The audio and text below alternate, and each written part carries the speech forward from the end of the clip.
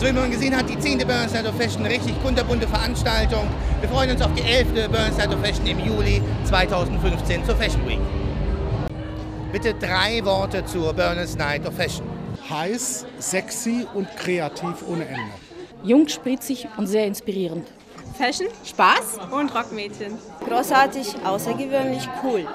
Neu, größer und anders. Kreativität, Lifestyle auf die Bühne. Ganz viel Kreativität. Schrill, bunt, fantasievoll. Schick, sexy und besonders. Berlin, Fashion und Kunst.